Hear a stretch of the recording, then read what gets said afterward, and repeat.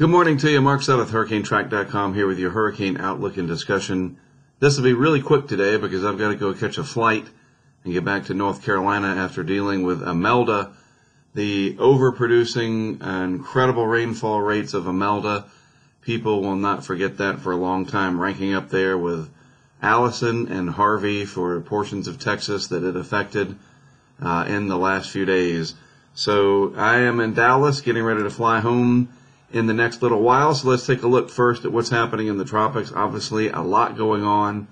First, in the Central Pacific, you see Kiko over here. It will not be able to make it to Hawaii and cause any problems there. So that's great news.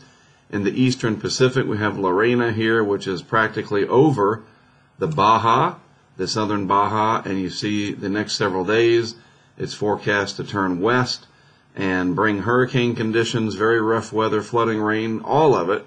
Everything on the menu that a hurricane can bring. Uh, Lorena is going to do that down here. That thin red line. Let's thicken that up a little bit. Uh, for the southern Baja and then move north and northwest, north northwest along and parallel to the coast. Maybe bringing some additional moisture to the desert southwest and northwest Mexico, but it doesn't look like it'll be in very copious amounts. In the Atlantic Basin, we have a couple of systems to watch. One here south of Haiti, which very low chance of development, but maybe it'll bring some rainfall uh, to Jamaica. Maybe. Uh, I know you guys need it down there.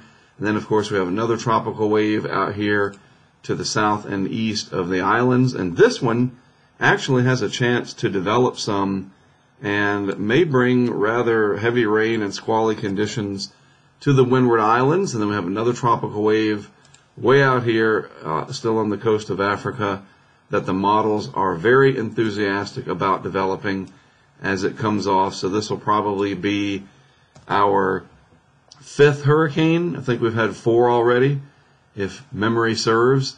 Uh, and it's the tropics are ready to go, that's for sure. Then, of course, we have Jerry and this will not directly impact the Northeast Caribbean Sea down here. There are no watches and warnings for the U.S., British Virgin Islands, or Puerto Rico. I think this turns uh, soon enough and gains enough latitude to keep most of the heavy weather away.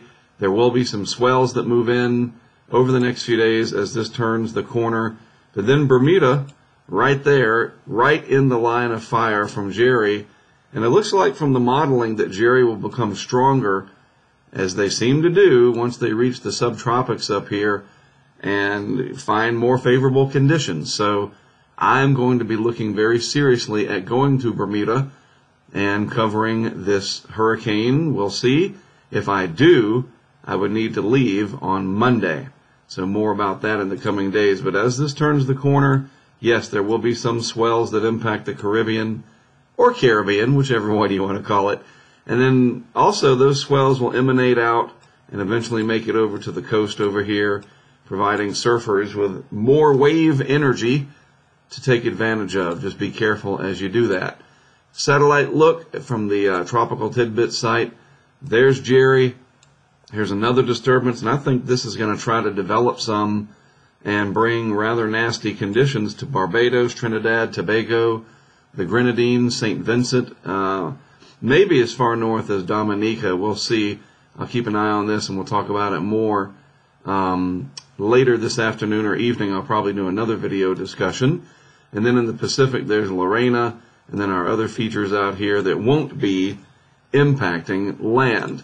All right, looking at the modeling here, just one real quick, the GFS from the 6Z run this morning. So this is not too old, valid 6Z, that means it was initialized at 2 a.m. Eastern Time. And this is the 5,000 foot level of the atmosphere, the vorticity. There's the signature for Jerry. This is the remnants of Umberto up here. Still some energy uh, left over from Imelda, believe it or not. It better not mess up my flight out of Dallas. I couldn't fly out of Houston yesterday. I was supposed to. Ugh, I mean, my troubles, I mean, come on. That's nothing compared to what people are going through.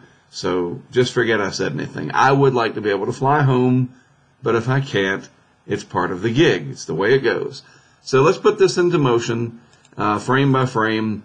You see Jerry moving north of the islands, right down here, uh, comfortably far away.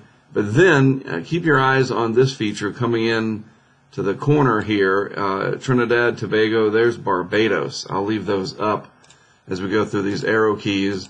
Moving forward in time, right there you see a couple of frames that the system tries to close off there just south and east um, of Trinidad and Tobago. Uh, and all of this coloring in here, these splotches, indicates just more energy, more vorticity, and a more vigorous look to this tropical wave. And you can see the bending of the wind flags in here. So, you know, sharp trough axis, tropical wave, whatever you want to call it. It's energy, and it's going to bring some heavy rain and gusty winds to the islands down there. So be ready for that. I'll talk about that more uh, for sure. I know I have a lot of people that follow my work down there and giving you a heads up. Here it comes. Good for the fresh water, not so good for other impacts. And then we see Jerry uh, up here not looking as organized. That looks very weak in the modeling, which is great news. We'll have to see. But uh, this is 78 hours out. But watch what happens it finally starts to ramp up again. Not the best looking in the model field. There's a little piece of energy that breaks off. Uh, the GFS keeps it southeast of Bermuda. We'll see. I, I, have my suspicions that it'll be stronger. Not ready to, to say how strong I think it'll get. Uh, but the GFS moves it. See, look how it gets stronger there. You know, so it could do that before it gets to Bermuda. This is uh, about a week away. So we'll see. There's still a little bit of time for some strange things to happen up through here where it may turn north and stall. It might try to come back west, but more than likely it would just slow down and then continue on out to sea. And there is more activity coming. I'll just show you a little farther out in time. See, long range, way out, 200 plus hours. And you see there's no threats over here, but another hurricane probably coming into the picture. The one that is currently over Africa now, that one is reflected in the five day outlook right there. Let's see if we can get this to click. There we go. So lots to watch. The MJO going to be very, very favorable in the Atlantic, uh, in the Caribbean, in the Gulf of Mexico over the next several weeks. So we have all this Atlantic activity. Most of it should curve away from most land masses, Bermuda notwithstanding. And then we see as things naturally shift towards the western Atlantic, the Caribbean, and the Gulf, those could become busier later in the month. I mean, we only have 10 days left, and then into early to mid October. And you remember last year, and the year before, and the year before, and the year before that with Joaquin, going back to 2015, our Octobers seem to be busier and busier. And on that note, I'll say goodbye for now. I got to get ready to go to DFW I am Mark Sudduth HurricaneTrack.com. As always, thanks for tuning in. I'll talk to you with another update later this evening.